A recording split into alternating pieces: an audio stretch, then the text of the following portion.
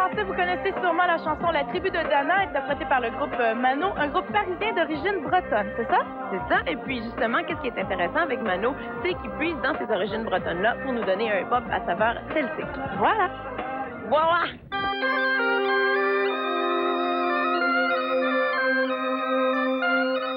On arrive de la banlieue parisienne, mais on a tous des origines bretonnes, euh, de par nos parents, euh, moi Cédric, par nos mères respectives.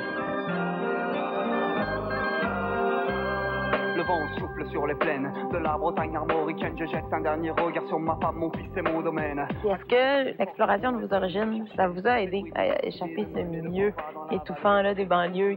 Chacun, chacun fait le rap euh, qu'il vit, qu'il, tout simplement qu'il, qu'il vit, donc qu'il écrit. Maintenant, avant, on faisait du rap de banlieue euh, parce qu'on vivait plus en banlieue, on, on traînait plus, on était plus jeunes, etc. Ensuite, on a vieilli. On s'est intéressé à la culture de nos parents, bretonne, celtique. Et euh, maintenant, on vit très, très à fond cette culture bretonne. Donc automatiquement les textes et la musique s'en est, ça s'est ressenti, voilà. C'est l'heure maintenant de défendre notre terre contre une armée de cimériens prête à croiser le fer. Toute la tribu s'est réunie autour de grands menhirs pour invoquer les dieux afin qu'elle puisse nous bénir. Je sais quand même que vous avez tous deux un passé dans le rap plus euh, hardcore, plus underground. Comment, euh, comment vous êtes Comment vous en êtes venu justement à ajouter des éléments celtiques à ça? Parce que c'est assez radical le changement C'est vrai que bah, le, changement il s'est fait euh, en, plusieurs années, c'est-à-dire qu'on s'est mis à écouter un peu moins de rap et à écouter d'autres musiques comme le rock, comme la techno, comme la house, plein d'autres trucs, découvrir plein d'autres différents genres de musique. Et puis, euh, puis c'est venu surtout de Martial qui, euh, qui un jour est venu à la maison avec un texte qui parlait de druide. Donc moi je l'ai regardé un peu bizarrement, je dis attends, tu veux qu'on fasse quoi avec ça Donc il m'a dit bah je sais pas, euh, on va essayer de faire quelque chose, ça me branche bien, euh, moi je suis à fond dans, la mythologie celtique. Je dis bah écoute bah on va on va faire ça, c'est-à-dire que je suis retourné chez lui, j'ai pris toutes ces compilations de musique euh, bretonne. Il me les a volées, mais il les a jamais rendues. maintenant tu peux continuer. Donc j'ai volé ces compilations et j'ai commencé à sampler. Et puis on s'est aperçu en l'espace d'une semaine bah, que ça commençait à le faire.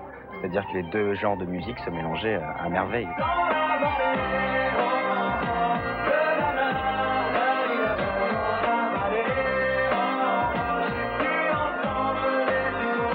Le premier clip, vous avez filmé ça au bord d'une falaise. Ça avait l'air vraiment superbe. C'est beau la Bretagne. Ah ça s'est passé comment le tournage? Ça, ça s'est passé rapidement puisqu'on a tourné tout en une journée.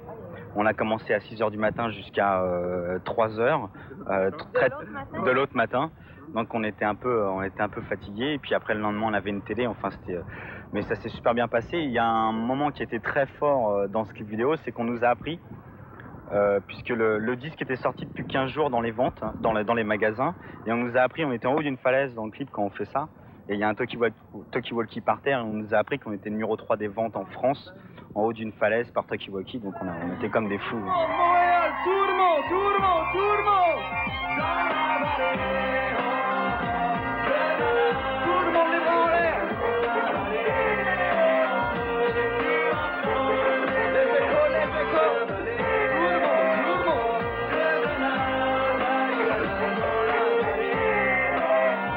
Martelode, c'est une chanson traditionnelle bretonne qui nous vient depuis X années du sud-ouest de la France, qui est montée en Bretagne par la suite. Et euh, il y a eu 18 versions de fait de Trimartelode, 19 avec Mano. Sauf que la plus connue, c'était celle de Monsieur Sivol dans les années 72. C'est lui qui avait fait évoluer la musique celtique en rajoutant euh, des batteries un peu rock et euh, la guitare électrique. Et nous, quand on a commencé à, travailler sur la tribu de Dana, qui est pour nous la tribu de Dana, c'est vrai, on avait samplé une mesure de sa harpe. Donc on a fait la, démarche légale de sample on lui a demandé si on, si on, si on s'il voulait bien qu'on qu son autorisation de sample. Il nous a dit non. Nous, c'est quelqu'un qu'on respecte beaucoup, M. Euh, Monsieur Sivol, surtout sa musique. Donc on a essayé de savoir pourquoi. Il nous a jamais répondu. Donc on a dit bon, il est bien gentil, mais on va tout refaire et on a tout refait. Donc il est fâché parce que maintenant la, la Primark Club, la plus grande version, c'est la nôtre.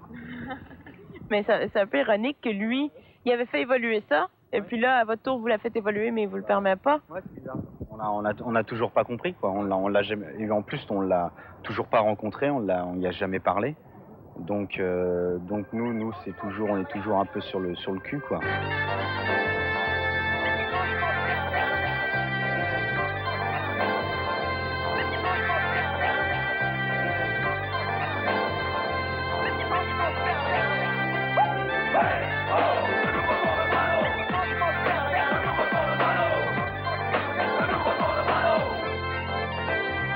Vraiment là pour ce, ce clip vidéo ne pas se prendre au sérieux quoi. On voulait vraiment, euh, on voulait en fait l'esprit c'était de faire euh, esprit euh, rap euh, West Coast euh, américaine, mais euh, voilà, mais euh, mais euh, C'était West Coast américain, Madine Bretagne. en fait ce qui s'est passé c'est que la personne qui a réalisé notre premier clip qui s'appelle François Dezagna euh, a fait une proposition avec les kangourous, c'est-à-dire d'insérer des images de gens qui, qui sautent en l'air et euh, dans le dans, dans nos dans nos délires quoi. Donc euh, ce qu'on voulait faire déjà, nous. Et en plus, c'était avec quelqu'un qu'on avait travaillé, on a fait la tribune Nana avec lui. C'est une super équipe et euh, on avait un super contact et donc on, a écrit le truc ensemble. Quoi.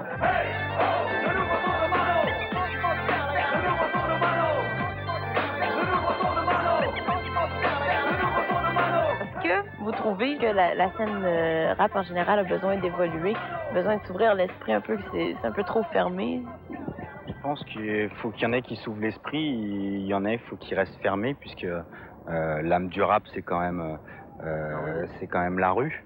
Donc je pense qu'il faut, faut toujours qu'il y ait ce courant musical très underground du rap, et il faut, il faut des gens qui, qui essayent d'autres choses, qui mélangent d'autres, d'autres musiques comme nous on a fait, puisque quand même le rap se nourrit d'autres musiques à la base. Donc, euh, donc nous on a mélangé avec du celtique, pourquoi pas d'autres avec du rail ou euh, éventuellement de la musique africaine ou plein de trucs. Donc je pense qu'il faut qu'il y ait quand même aussi une- un noyau, un noyau très underground pour garder cette âme et d'autres qui, qui gravitent et qui essayent d'aller plus loin. quoi.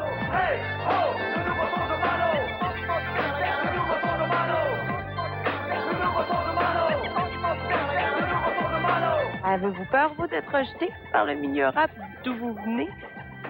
Bon, on, a, on, a, on, bon, on connaît plein de rappeurs, plein de groupes de rap, ça se passe plutôt bien, non Euh, Il y a des gens qui l'acceptent, donc c'est sûr qu'il y en a d'autres qui l'aiment, qui, qui n'aiment pas ce qu'on fait. Maintenant, euh, je dis toujours, chacun vit, fait son rap, chacun vit son rap, chacun fait son rap à sa façon. Nous, on le fait, euh, ça vient du cœur, des tripes. on va pas se forcer à faire quelque chose en underground s'il y en a qui n'aiment pas. Je veux dire, on fait ce qu'on aime. Et si à la limite, si les gens les aiment pas, tant pis, c'est pas grave.